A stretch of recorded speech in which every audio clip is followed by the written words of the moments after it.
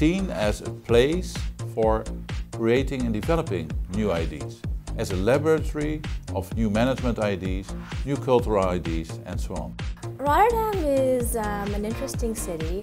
I would describe Rotterdam as a very modern, um, business-oriented city. There is a good amount of Dutch and immigrant population. There's a lot of things to do, but you need to be a local to be able to, to get to know all the, the great things that the city has to offer. When you're in the city center, you don't see that much students, so uh, I wouldn't say it's a student place at all. But. It's a harbor city, so it's quite nice. Yeah, it's a good feel.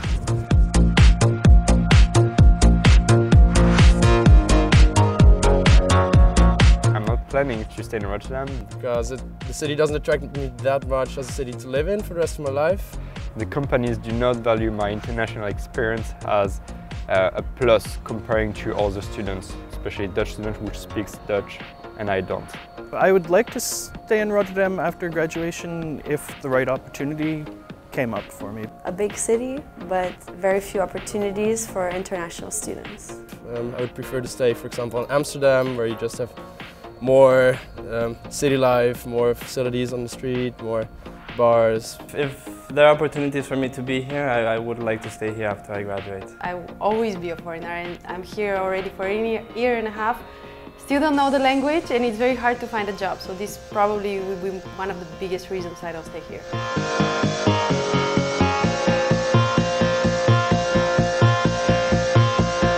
I do think that Rotterdam is an international city. There are many international students at the university, for example, but in the city itself, I would say it's not international. It lacks some more international people outside the university. I do not feel it still has its metropolitan feel just like Amsterdam or The Hague does. Not as international maybe as it's portrayed as being.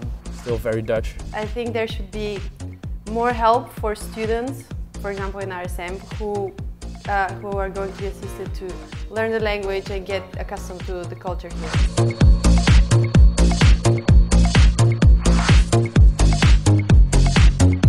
I don't think uh, Rotterdam is a very vibrant city. If you make it a bit more compact, um, that you can just keep it vibrant also at night. I think that Rotterdam can be a vibrant city. Well, the city has its nice places, but you really have to get to know them. It's just a business from 9 to 5 and that's it. It's not really social, it's just a place to work and to live, that's how it feels. I think it, Rotterdam is not as vibrant as, for example, Amsterdam or Utrecht. I love going out, uh, going out here, but that maybe is uh, after I met my boyfriend who showed me a little bit of the Dutch side.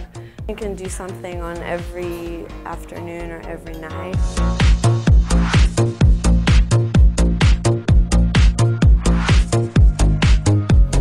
Aspects of Rotterdam are That it's, well, as I mentioned before, very modern, it's business orientated. It has a great university and yeah, it's quite international. I also think that it's a, a, it's a center for many companies. Rotterdam, you can have your own space. At the same time, if you want to go out, there's some really nice places. the great public transportation system it has, the new building.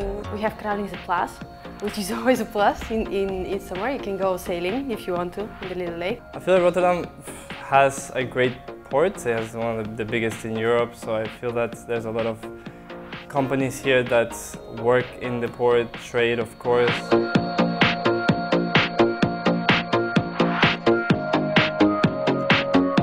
Improvement points are maybe for the architecture to be finished. Rotterdam could have more international events happening. There should be a, a, a better feel for, for the international community. Offer more international companies for international students to find jobs here. And a little bit, something that annoys me personally is traffic in the city as well, in the morning and the evening when people come home.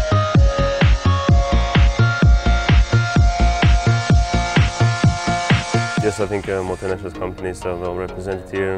Just looking at Unilever. I definitely think they are represented. Multinationals are well represented in the major energy sectors like oil and Unilever, of course, the headquarters is here. No, I, I, I don't feel that they are. I really I was a bit disappointed about that. Uh, coming to a, a great uh, business school like uh, Rotterdam School of Management, Management is. The main headquarters of international corporations are mainly in Amsterdam to, to the airport and to the capital status, Amsterdam has. There are some companies, for example, like major advertising companies and major sort of music companies which are not represented and I wish they would be more so the youth would get more of a chance to do some other stuff as well.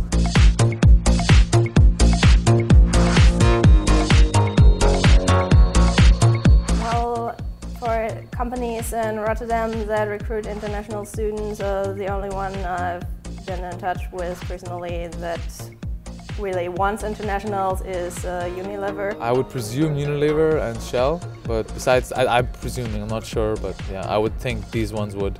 I wouldn't really know if there's any company recruiting international students in Rotterdam. Yeah, there are a few, um, Unilever, um, ING, but they are not searching for um, international people. It's a matter of whether they're concentrated on the Dutch market, if their office here is concentrated on the Dutch market, or maybe it's the HQ for Europe. So, yeah, you never know. Most international companies that present themselves as very international, in the end, if they have the choice between a Dutch person and an international one who doesn't speak Dutch as fluent, they just prefer the uh, Dutch person. But I think there are also smaller ones which are not known and which are who are also looking for uh, international students.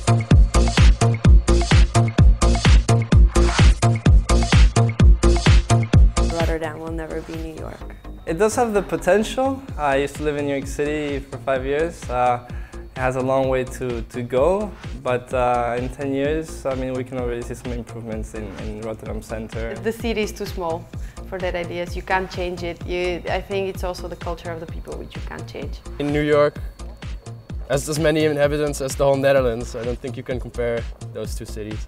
I think everything is feasible. I am not one that says that nothing, uh, that things are impossible. There's a lot of work to do in terms of uh, ensuring that there is a, a certain vibe. If he, if he can figure out how to get that buzz in, I think it will work. But if not, it's going to be, yeah, it's going to take some work.